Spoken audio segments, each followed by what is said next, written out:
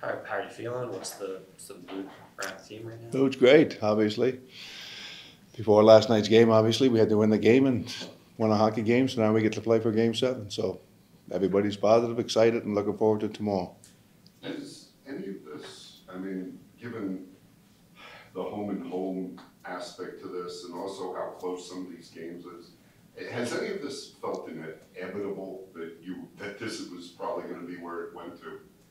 Well, it was sure looking like that after the first four, no doubt. But uh, again, I think the first first game of the series, we had a chance to win that game. Obviously, it was a one nothing game for us late in the game, and you know they scored late and then won an OT. But no, I think every game's up for grabs, and like I said, I hope the I hope the home ice changes tomorrow night. But uh, it's been a battle, and uh, we'll see where it goes. But both, both you and Rod have said repeatedly that you, you can't explain why the home team. At this point, is it worth trying to figure out? No, it isn't. It really isn't. Yeah. I mean, you do your thing, you prepare your team, you get your game plan. You know, you talk to your team a little bit about different stuff. I mean, matchup stuff like that. But you know what? You go play the game. It's a game seven. Uh, you know, both teams are. They know what the consequences are, and both teams have, have played well. I mean, like I said, nobody expected Rod's team to play all those games and win all the games at home and lose all the ones in the road. I think we won one game in the road, and both our teams have been good road teams all year long. So it's a battle. It'll be a great game tomorrow night, and hopefully we come out on top. Well, I mean, the one game you won on the road was an elimination game. Yeah, it was a huge game. It was like a, well, it was game six in Pittsburgh, but yeah. Why this team is so resilient? in? Pardon? Why, why do you think this team is so resilient in your mind?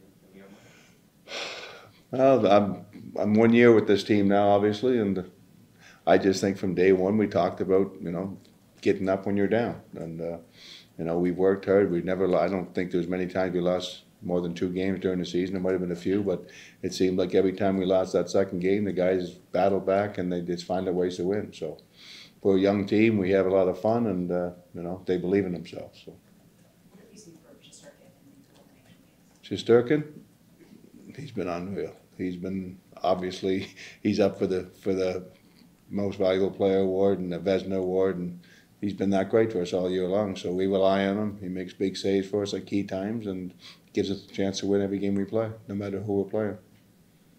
Other than game five, you've been pretty happy with, with how you guys Yeah. have played. Does, does that make it easier going into game seven, just knowing what you guys have to do to, to tap into that? Yeah, no, I mean we haven't. We had a probably one bad game in the Pittsburgh series we didn't like, and there was probably even the game five game was still up for grabs late in the hockey game. So, but we didn't play as well as we could have played. There's no doubt. So, no, I like I like our chances. We play real well, and uh, again, it's going to be uh, two good teams battling it out.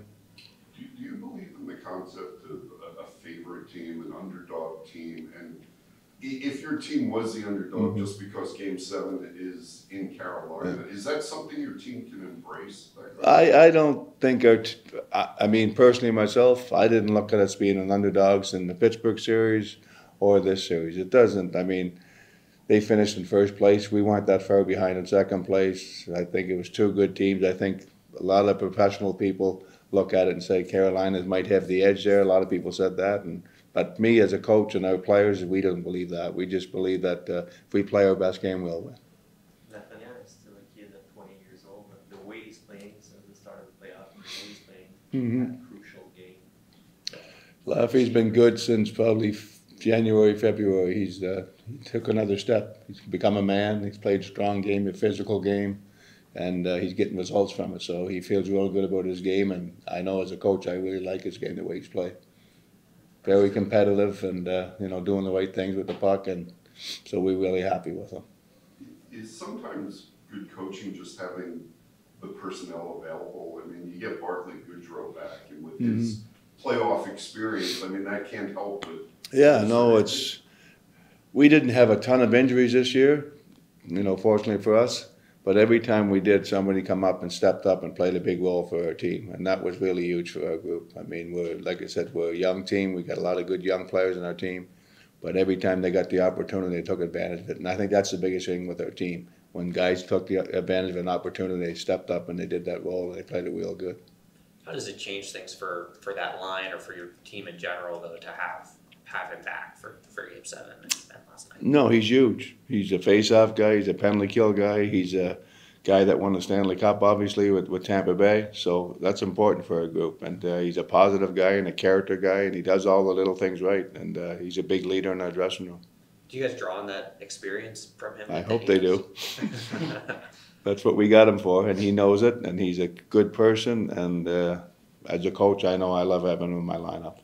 I- is there any chance of, of, of seeing uh, Sammy Blais tomorrow? I, I assume not. But No, there's no chance. I said that with good joke because I, why I really thought it.